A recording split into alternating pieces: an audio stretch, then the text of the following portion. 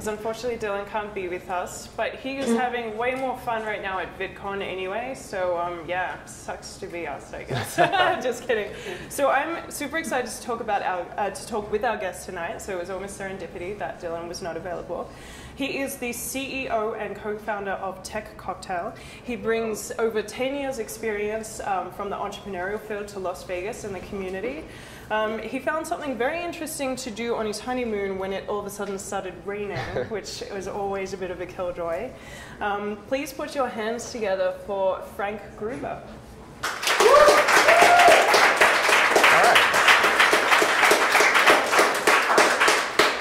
So Frank is here tonight because he kind of went above and beyond just all of the stuff that he does every day. He actually wrote a book called Startup Mixology, which is really awesome and it's, it's got a bit of a twist compared to other startup books. So why don't you tell me exactly what Startup Mixology is about? Well, first off, thank you for having me. This is great. I, I just looked back. I was on episode four. yes, you were. And it's great to be back on episode 72. You guys are doing great. So thank you. Uh, yeah, I, I've been busy. I wrote I wrote a book. This is a, the physical copy, and I, I just got it yesterday. So you must be really I'm, yeah, I've been sleeping with it. It's uh, oh, don't tell anyone that. Oh, is this live? Is this Yeah, live? Oh, maybe okay. we could edit that out. okay, we can edit that. Yeah, no. Uh, but no, it's it's it's um, you know it took me like you mentioned a while to, to, to start up, and I worked at a lot of big companies, and um, this book is really all about you know all the different things that go into starting and running a business. So it's literally like every element or ingredient, and using stories from companies like Zappos and Uber and Grubhub and Sweetgreen and, and WordPress and sharing their stories and trying to illustrate a different point about how to how to do a certain element. So um, you know, I wanted to be able to try to help people that are trying to have an idea. You know, a lot of people come to us and they're like, "Oh, we really love what you're doing. I have an idea," and I'm like, "Really?" And you know, I get a lot of the same questions over and over again, and after a while, you know, I try to you know be as helpful as possible. But uh, I was interviewing Jason Fried last winter, and I was like, "Listen, you know, wh- what do you do? You get a lot of people come to you with questions and stuff." And he said, "You know what you should do is like." If someone asks you something more than eight times, you should put, put it in a book and sell it. So we did. really, I really like that advice. I feel like Yeah. that means Yeah. I need to write a book on 3D printing or yeah, something. right, exactly. But I mean, really, to be honest, it's about helping people get get somewhere faster. And a lot of people have ideas, and I want to be able to put this in the hands of any in, uh, entrepreneur that has ideas, somebody who wants to start up, as well as entrepreneurs that are trying to innovate within a big company. I worked at AOL for a long time and Tribune for a long time, and working inside that environment. Um, it's you know in some cases you're, you're in a style that's similar to a startup and trying to innovate and push things out is, is really hard so Absolutely. so looking for ways to kind of help in that that direction too Awesome. So you could almost call it like a recipe book. It is, yeah, it is. It is a recipe book for trying to, you know, start and run a business successfully. And uh, I guess the interesting thing is it doesn't have um, physical, you know, hey, put this this ingredient or whatever. It's more what broad, makes your but book different? yeah. So every chapter is, um, you know, lead story about a company that in, in kind of illustrating, you know, how to get funding or how to be bootstrap or how to come up with ideas or how to market or whatever. And then it talks about the harsh realities of that that ingredient. So whether you know there's a lot of people who've done this and they've you know they've run into things. And it, i think part of the book is that uh, the differentiator in the book is that you know you hear a lot about the companies that have been out there for nine or ten years and you really only hear about the success at the end. So like the ipo right. or this exit or whatever and then they're humongous. And the first seven to eight or maybe first five or whatever are really hard and you don't necessarily hear about that. And i think it's important if you're going to start up or run a business it, that you understand that component of it that it's not going to be just sunshine shine, rainbows and unicorns the whole time. And there, it will be hard and i think um, in general um, it's been glamorized and so i want to make sure that people realize that in each element this is what you can do to kind of these are going to things you might run into and then how do you get out of that you know how, so this interesting thing is that so we talk about the harsh realities and then we talk about celebration as an opportunity to motivate and propel you kind of out of those those situations so i know that sounds really weird because you're probably thinking like celebration like Yeah, What does I that find mean? I find in the startup industry, Yeah. people people are kind of obsessed with failure right now and the Right. things that can teach you and the way that it can make you more successful. But you actually believe the opposite. Well, you don't. You, you obviously value that, but Yeah. you also think that there's something in celebrating their successes, right? Yeah, well, it, it's actually talking about you know celebration as a motivational tool. So using it to propel you out of those those lows, because you're going to be up and down, and it could be up and down the same day. You know, you don't know. Every day is a little bit different, but um, you want you want to get out of that valley. And you, how do you get out of that? You need to create these mo- momentum events that help you push through. So it's, anything as simple as like you know a sales bell if you're out trying to sell more stuff because that's going to motivate your team and want anybody's Right. going to want to ring Yeah. that bell. Yeah, that's To, fun. to to you know more um, I guess uh, we took a, you know at the end of our first year bootstrap or you know bootstrapping. Uh, and doing this full time, we took a workcation. And it was kind of like a celebration of, oh my gosh, we survived.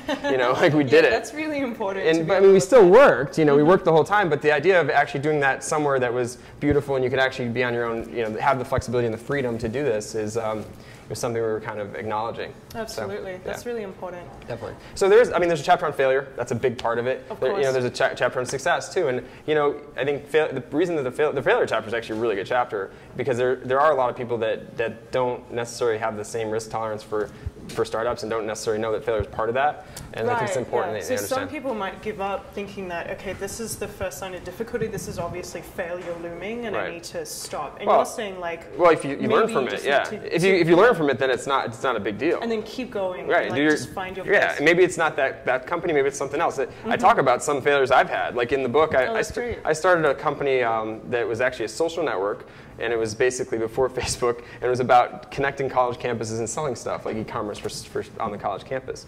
Didn't quite work out yet, but it wasn't because of the idea. The idea was a good idea. It was actually more about the team. So I tell I tell the Mm, lesson about mm-hmm. how I pulled that team together and. You know, learned a lot from that. You know, There's some really good stuff in this book. Oh, thank Nice you. work. Yeah. So yeah, I'm excited about it. It's, uh, it comes out July 8th, but you can order it now. Um, if you go to tech.co/book, you can get it, and we'll you know obviously give you some ex- extra content. This is uh, 60,000 words written here, Wow. and uh, I wrote 100,000. So there's extra chapters. There's like the lost chapters. Yeah, so you got you had to kill some stuff, and Yeah. there was one particular chapter that I wanted to ask you about Yeah. because, and it starts with C. Yeah. And you not that kind of C. and you you had to take it out, but it's actually really important and integral to Yeah. tech cocktail and It was, a, right? it was a tough call. I mean, editing in general was a tough call because like you had there were so many stories that I wanted to include and people that I wanted to include and things I want to talk about, but you have to get it down to a certain word count. And one of the chapters that I wanted in there was actually community. Community, Right. So I, I feel like we what we do every day with Tech Cocktail is you know try to better, better tell the stories of different communities and do you know hyper local news coverage and events Right, and right. uh, and bubble the best stuff nationally. And unfortunately, you know, if you're starting a company, the ingredient of community is important, but it's not like, oh, I'm just, it's not ac- as actionable. I mean, you, you can do things like this and come out and meet people and be a part of it. Uh, but it's not like, oh, this is the, you know, the thing that's going to make it happen. So we actually integrated all those different lessons into all the different chapters. I saw that you've Yeah. managed to sneak in a few like local Las Vegas celebrities Right. and uh, such as Sarah Evans Yeah. and a couple of other people. right? Yeah, so we do call outs. I think part of this is like if you're not in our industry and you're trying to get into, you know, starting running business or, you know, you can pick up this book and you can find out some of the key players in there too that are in the mm-hmm. industry. And so we do these like what we call sidebars and we talk about companies and, and people and, and things that you should know about. And just to kind of help jumpstart you so you don't have to mm-hmm. go and learn it on your own. You're like, oh, these people are, you know, I, should, I can learn from these and follow that path and mm-hmm. find out other people and interesting things that are, are happening. So This is super valuable, and I love also that you, because you are Las Vegas, this is Las Vegas contributing back our lessons and knowledge back to the startup community Right. worldwide as well, right? So- Yeah, so there's yeah, you're, you're going to recognize a lot of people in the book. Awesome. You know, like, um, definitely, uh, you know, there's a whole chapter on culture. So obviously Zappos Downtown Project. Mm-hmm. Um, uh, there's some, you know, obviously throughout community. So Vegas Tech Fund and their approach to, to funding is in the, is in there. Um, and then just people that are, had shared their ideas. We actually did a, a call out on, the, on our site through through social media and everything else to say, hey, if you've got stories that are harsh realities about this chapter or this topic, let us know. And we took in hundreds of them, you know, and then we had to vet through all of them and put them into Mm-hmm. the different chapters. And and so there's a lot of people that have shared knowledge and, and have contributed to the book. So. Sounds like very refreshingly frank advice. Sorry, I had to It's get totally frank. I apologize. I apologize. so, um, enough about the book. What Yeah. I want to know is the personal story behind, like, what was it actually like writing a book? Because this is the first book you've written, Yeah, right? um, yeah, and it, it was a journey even to write the book. I mean, I started talking about writing a book uh, back in 2008. Wow, Um, okay, so I, I had- I- yeah, so it's been going on a while. I, it was that, then it was going to be about. I was blogging a lot about Web 2.0 and covering the space, and at the time writing for TechCrunch and a bunch of other places, and uh, decided that you know I actually got connected with Brian Solis, who's Okay. actually written now four or five books. But it was, it was his first. It was going to be his first book, and it was going to be my first book, and it was going to be about Web 2.0. Didn't work out. Timing was wrong, and we would have launched it, and Web 2.0 would have been over. Probably not a good idea, so No, we didn't do it. right. Yeah, You- so so so we waited. pivoted, So we pivoted, and we waited, and then you know it you know kept thinking about different ideas, and eventually this came through. And I mean, I pitched this idea four years ago, and it wasn't the right time, and it wasn't the right pitch, and then I obviously they reconnected with me a couple like last summer, last August, and uh, we signed the deal, did it, and then I we did our big conference, which is Celebrate here in Vegas in October. I got married in November, and then I started writing the book, and so and it was due in January. So I. Um, I didn't had to, I had to take a little bit of an extension, but uh, my honeymoon was in there too. Um, there's a lot of stuff that so happened. You were writing the book on your honeymoon, right? Let me get this straight. Okay, yeah. like, well, I wasn't supposed to. it, was, it, was, like secretly, you know, on my phone or whatever. But no, um, there were some rainy days. Actually, in the book, one of the acknowledgments is to is to Kauai. This, we went to Kauai for a honeymoon for a couple weeks, and uh, there were some rainy days in you know December. I mean, in January and February, it's usually rainy there. But right, right. I was able to use those rainy rainy days to like finish stuff and. Yeah, I mean, I'm thankful for that opportunity. It was a beautiful place to be able to share uh, that experience. So this is awesome. There's a there's a lot of you personally in this book, and there is, I yeah. that that's going to come out. Yeah, definitely. I mean, it starts with uh, you know I wanted to create a groundwork. I mean, I wrote it the first three chapters to begin with. I sent them to Sh- Tony Hsieh, and he said you need a story, and there was no story. I mean, it was like it was very like do this next and that's what you do. You know, it was robotic and I didn't I didn't like it either. Right, and right. I thought that and Tony thought that and well, my other great. readers thought it and I was yeah. like, you know what, we gotta restart start over. So started telling the story of like how I got where I was and then shared that and then ultimately shared a lot of other people's it stories. All organically came yeah, together. it all came together. Well, yeah. awesome. And, and I didn't do it alone though. I had help. Okay. I, I definitely had the help of um, some of my team members. Um, Kira Newman actually was a big part of it. She is one of our senior writers. She helped do a lot of research, a lot of behind the scenes stuff mm, to mm-hmm. you know actually acknowledge in the book too, because I wouldn't have been able to do it without She's her. fetching all the bits and pieces. Well, that just helping me sound like a coherent human being.